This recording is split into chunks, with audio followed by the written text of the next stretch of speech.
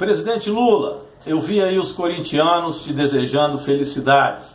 Eles não vão poder te dar presente, é o título esse ano, que esse vai ficar com o glorioso Clube Atlético Mineiro, o Galo das Alterosas, aqui o time da presidenta Dilma. Mas, presidente, nós também queremos te desejar felicidades, muitos anos de vida.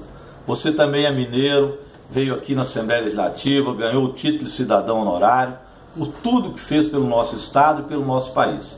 Ajuda bem a presidenta Dilma a sair dessa crise, o Brasil melhorar, e nós estamos te aguardando. 2018 está logo aí. Continue os seus exercícios, fique firme, fique forte. Estamos com você, presidente. Um grande abraço.